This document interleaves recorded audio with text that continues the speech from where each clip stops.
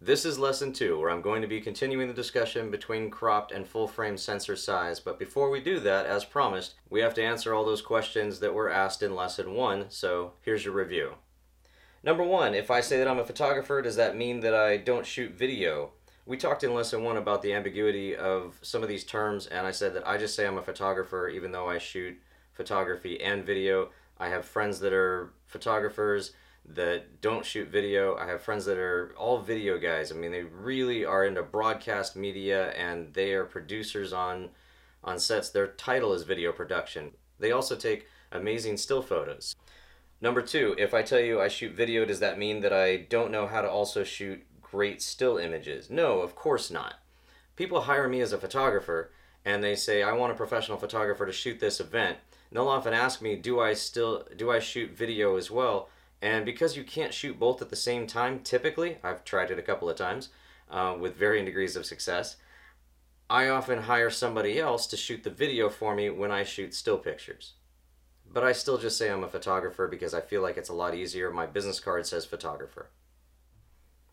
Number three, the DP on a movie set is responsible for A, video cameras, B, lighting, C, still images, or D, all of the above, including lens choice.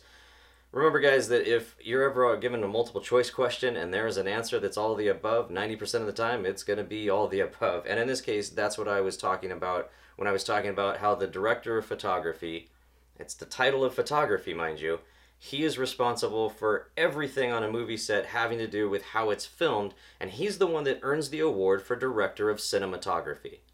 Question number four What is the standard size photography frame for both digital and film? And of course, that's 35 millimeter. So I hope that helps. I hope you got them all right. Thanks so much for following along, and now let's get going on lesson two. Professional DSLR mirrorless cameras have a sensor that are the same size as a standard frame of 35 millimeter film and are known as what's called full frame cameras.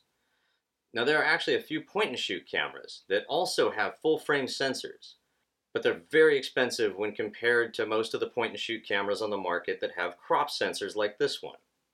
Full frame cameras are typically considered professional. They are heavier, have more features, and are better in low light because of the bigger sensor size.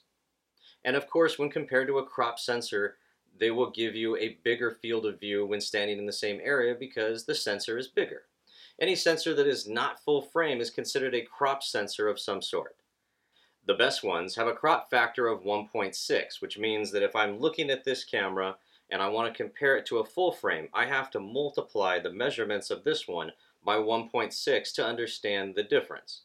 Crop sensor cameras are great when it comes to shooting sports because they actually get you closer to the action, but when it comes to wide angle, it's not going to be as big as a sensor that is larger. For example, if I'm standing in a field trying to take a picture of the state capitol and I can get it all in frame with my full frame camera, if I switched over to a crop sensored camera and stayed in exactly the same place, I wouldn't be able to get the whole thing in frame because my sensor size is smaller and it's going to record an image that is actually smaller. In order to get the same result as a full frame, as far as what is in frame, I would have to take several steps back in order to get the same field of view. Crop sensored cameras are cheaper and they have a different crop factor when compared to a camera with a full frame sensor. Your cell phone has one of the smallest sensors, and remember that it cannot be any larger than the lens that you see on the back there. So when trying to compare sensor size, if you look at the size of this lens as opposed to the size of this lens, it should be obvious to see that this camera is going to have a larger sensor, which typically means better in low light and more detail and contrast. All in all, better quality. Compact cameras such as this point and shoot have a slightly larger sensor than the one found on your cell phone. And of course, mirrorless and DSLR cameras have the largest of the crop sensors, with the best ones having a crop factor, as I mentioned, about 1.6, depending on the manufacturer. We call these camera sensors APS-C. And again, on the mirrorless cameras, when I take off the lens, you can see the APS-C sensor right there. All you really need to know about sensors right now is that 35 millimeter is the standard. Anything smaller is considered cropped, and the bigger the sensor you have, the better the quality and the better performance you will have in low light, but also the more expensive and heavier that camera is going to be. Now, to understand how that affects your camera and your picture taking, let's talk about two different situations. Taking pics outside in the sun where there is plenty of light is easy for any camera, no matter the sensor size, even for your cell phone. Taking pics at night, at a football game, or in a dimly lit dance studio where the subject is moving very fast, sometimes very far away from you, in usually very little light, is probably one of the hardest things for your camera to capture. Having a camera with a full frame sensor that is better quality, it gives you better performance in low light, will always help with situations such as this. So why doesn't everyone just get a camera with a full frame sensor? Two reasons size, and price. The sensor's not just big, it's thick. A cell phone with a full frame sensor would be over an inch thick and no longer fit in your leggings. The least expensive cameras that have full frame sensors are typically about $1,000 to start.